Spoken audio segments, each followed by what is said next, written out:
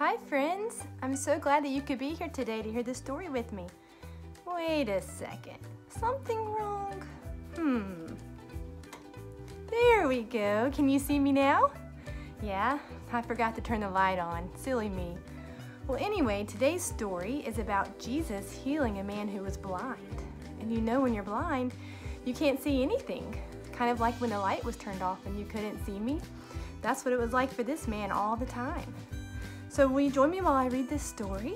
And then afterwards we'll have some fun activities for you to do with your parents.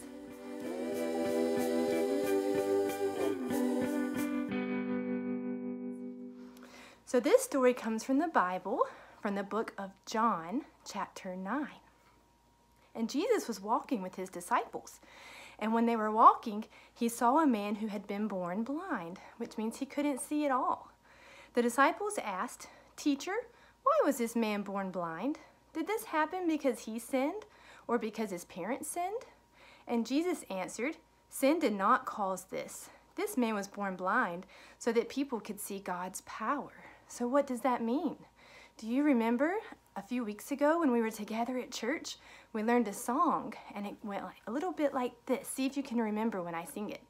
My God is so big, so strong and so mighty, there's nothing my God cannot do. Do you guys remember that song?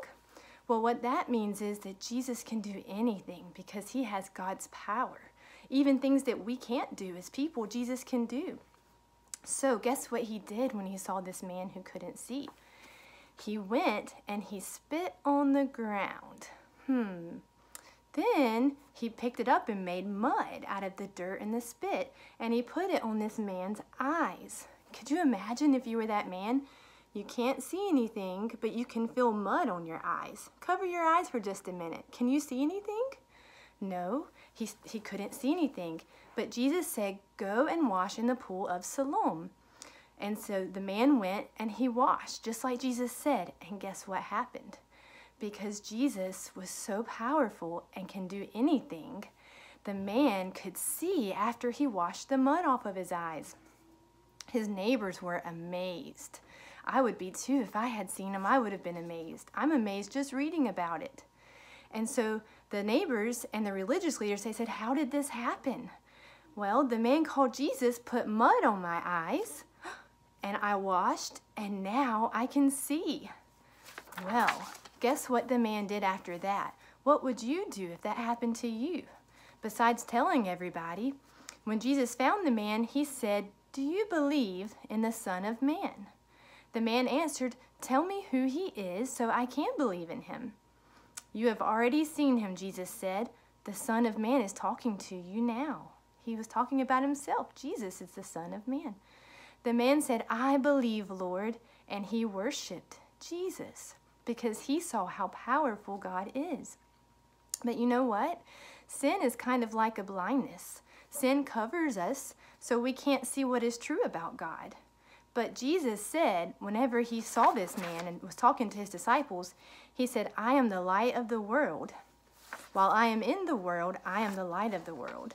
Well, Jesus came as a, as a light into the dark world, and he helps us see what is true so we can know God. Just like how this blind man saw God's power when Jesus healed him and he began to worship him and believe in him. The same is true for us. When we believe in Jesus and we trust Jesus, we are freed from our sins and we can worship Jesus as Lord, just like this man did, because he helps us be able to see. So now, if you want to do some extra activities with your with your family, we have a few more things that you can do. But what I want you to remember is not only is Jesus so powerful and he can do anything, he also loves us very, very much. He loves each one of you. And he wants us to be able to see him and learn about him and know him so that we can worship him. I love you guys. We'll see you again next week.